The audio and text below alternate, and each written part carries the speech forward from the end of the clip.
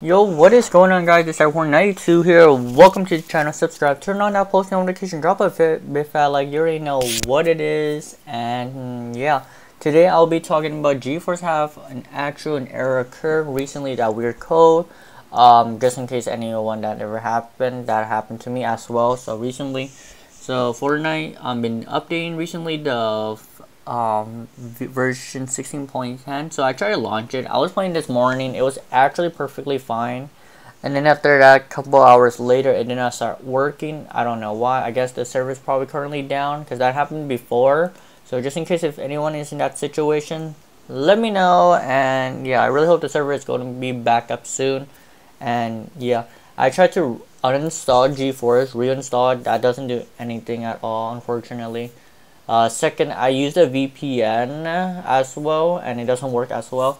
And yeah, so the screen said there, there was a problem starting your season. Try again. Error occur.